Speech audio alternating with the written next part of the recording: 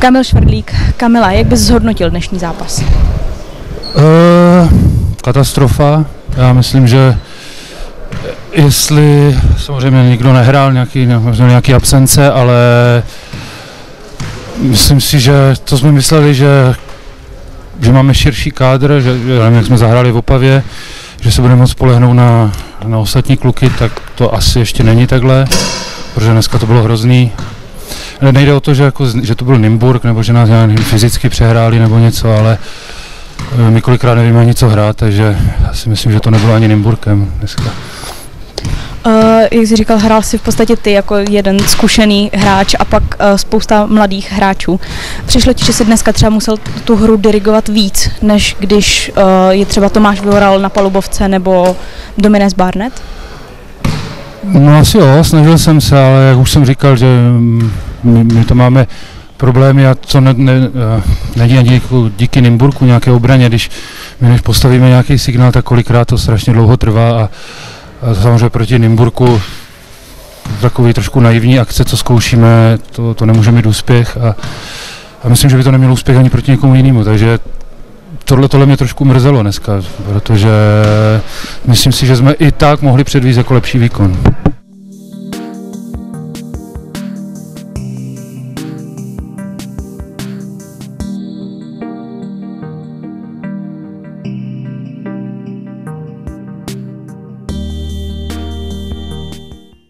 Adam Konvalinka, Adame, tak jak bys zhodnotil dnešní utkání? No tak hodnotí se to těžko. Věděli jsme, že jsme v nějaký hodně okleštěný sestavě, ale bavili jsme se hodně o tom zápase, že se nebudeme moc koukat na, na skóre, ale spíš na to, jak to bude vypadat a, a v tomhle jsme jako absolutně propadli, jako kdyby se všichni už těšili na to, až bude po zápase a moc zážitku z toho zápasu nemám ani já, myslím si, že ani nikdo z hráčů. Uh, vy už jste před, před tím dnešním utkáním avizovali, že se chcete spíš už soustředit na playoff.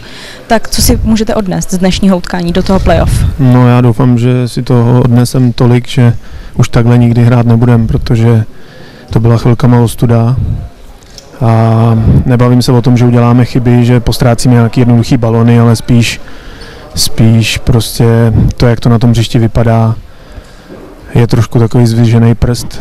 Sice nám chyběli nějaký hráči z té základní sestavy a rotace, ale, ale takhle prostě na hřišti nemůžeme vypadat.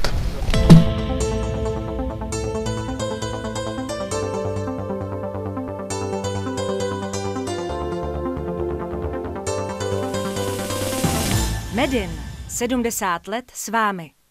Luboš Kovář, tak nejdřív gratuluju k vítězství. Jak byste zhodnotil dnešní zápas?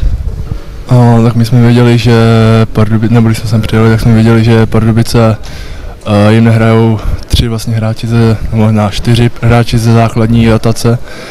Uh, tudíž jsme hlavně to nesměli podcenit, což se povedlo. Z začátku jsme se vypracovali uh, velký náskok, který jsme jenom zvětšovali a uh, nepustili jsme vlastně k soupeři k ničemu v tom zápase, si myslím. Vy patříte k těm nejmladším hráčům vlastně Nymburského týmu. A jak vy, tak vaši další mladí spoluhráči dneska získali podle mě víc minut, než na co jste zvyklí. Tak jak se vám dneska hrálo? No tak teď my máme uh, nějaký problémy s uh, nějakou marotkou nebo nějakýma zraněníma, tak si myslím, že na konci, když už se v podstatě o nic nehraje, nebo dá se říct, že se o nic nehraje, tak si myslím, že trenér chce ty minuty víc rozkládat mezi ostatní, aby se nastaly nějaký uh, zbytečný zranění. Uh, ale jinak, jinak já si myslím, že všichni mladí, co jsme hráli uh, více minut, tak jsme tam odvedli uh, dobrou práci a dali jsme tam na, na tom příště všechno.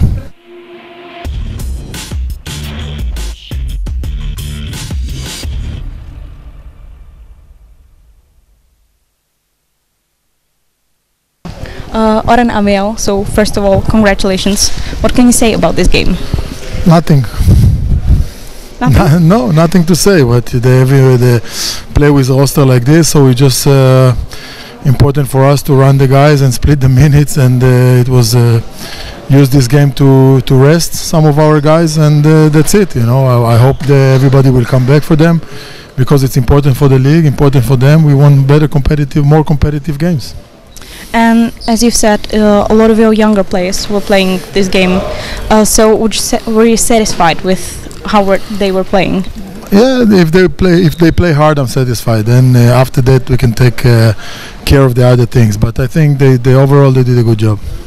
Uh, Pan trenér Amiel říká, že vlastně dnešní zápas ani nemá jak hodnotit.